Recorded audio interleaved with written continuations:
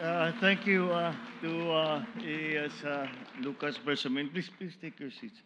Uh, al- alam ko nakabarong tayo pero hindi tayo masyadong formal dito. Kaya sinuot ko yung aking piniforme para ipagmalaki. Ito yung binigay ninyo sa akin nung uh, nag-send off ako sa inyo. And wow, I never thought how proud I would be to wear it again uh, because of our the brilliant uh, performance of our athletes. Uh, uh, let me greet uh, the uh, Philippine Olympic uh, Committee President uh, Abraham Tolentino, PSC Chairman Richard Bachman, our supporters and friends, so we could not do without in the private sector, fellow workers in government, of course, the First Lady, First Lady Luis Araneta Marcos,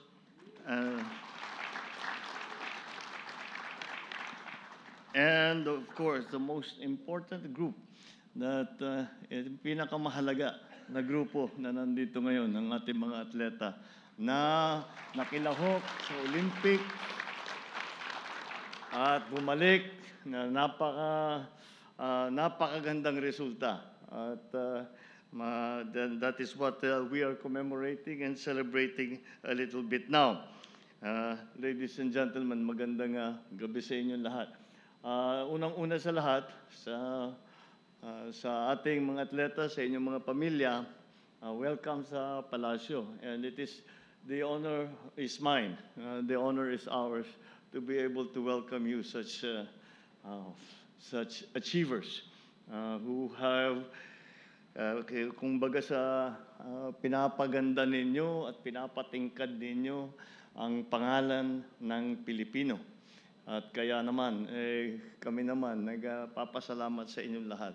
Dahil bukod sa medalya, uh, but of course, you know, Kaloy, the, your performance was just, uh, and it deserved two gold medals. And that's how high a standard that we have, uh, we have reached.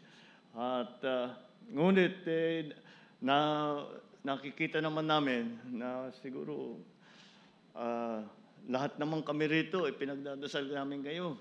At saka isa lang, isa lang rireklamo ko sa inyo lahat. At eh, napuyat ako ng ilang, dalawang linggo akong puyat para manood ng kahit sari-saring mga event. But ah, yung puyat ko, worth it na worth it. Dahil talagang napakagandang panoorin kayo. At makita kayo.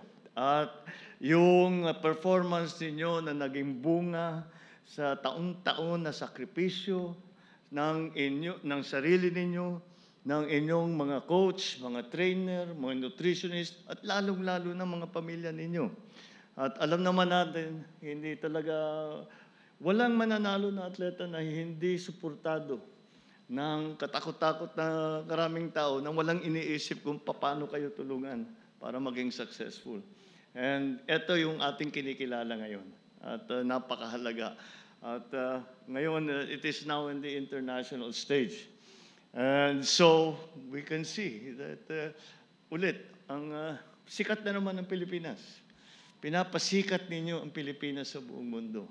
Hi- uh, uh, alam ko na iniisip ninyo, gymnastics, boxing, di ba, sa uh, uh, pole, pole vault, yan yung iniisip lang ninyo yung event ninyo. Pero yung performance ninyo, may malaking kahulugan yan. It means a lot.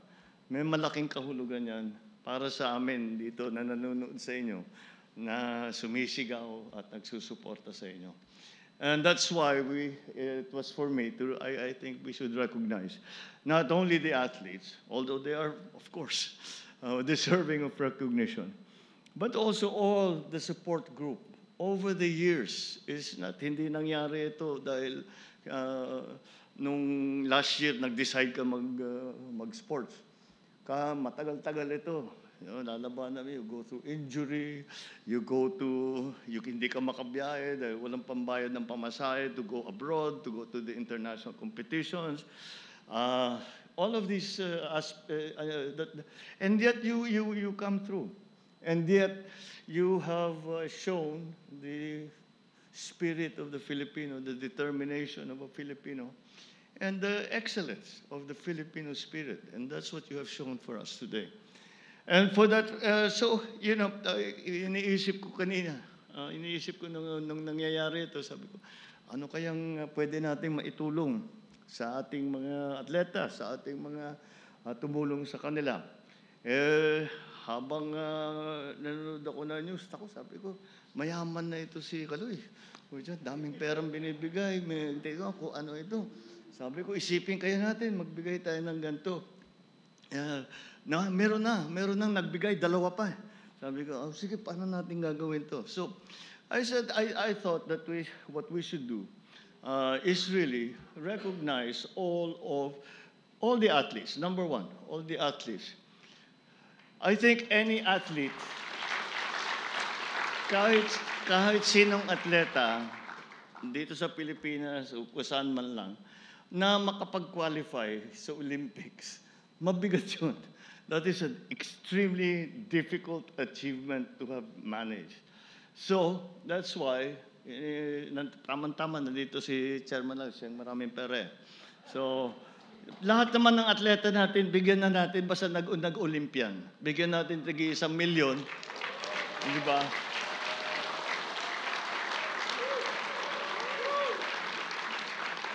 Ima-match pa ng Office of the President yung bibigay mo para at least matulungan tayo. Bukod pa ron, dahil sa akin sa ating pangi- pangingilala sa mga lahat ng tumulong, the coaching staff, the, the- the- bibigyan din natin ng kalahating milyon para sa kanila.